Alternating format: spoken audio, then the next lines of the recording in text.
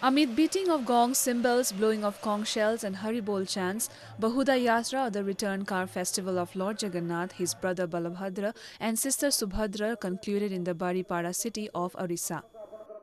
The warm-hearted and jubilant residents of the region who had just winded up with the celebrations of the Chariot Festival refused to take a break as they geared up to take part in the Festival of Cleanliness.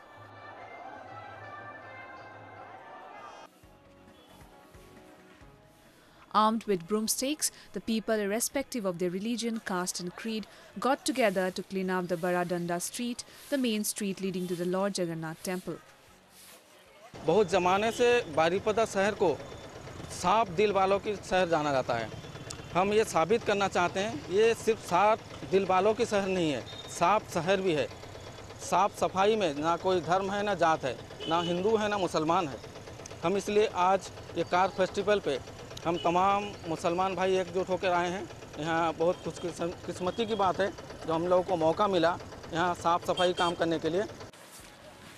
Streets leading to the temple were filled with heaps of leftover flowers, incense sticks and polybags.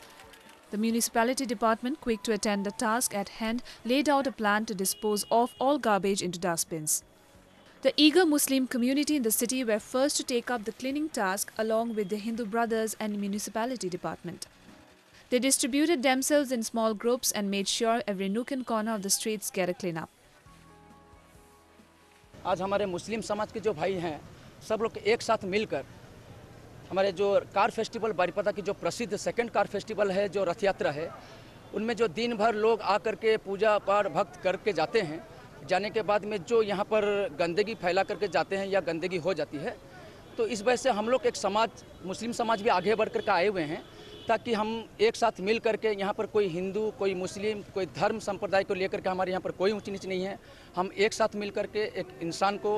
और इंसानियत के नाते हम एक message दे करके कर रहे हैं। इसमें साफ़ सफ़ाई से ज़्यादा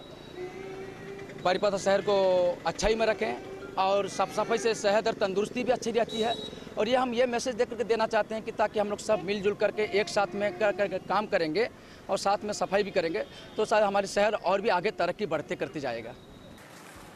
Acting upon the cleanliness is godliness principle laid out by the great Indian revolutionary leader Mahatma Gandhi, the city located in the Mayurbhanj district worked towards showcasing an appreciable exemplar of communal harmony by diluting the differences between the people to achieve the joint aim of cleaning the city.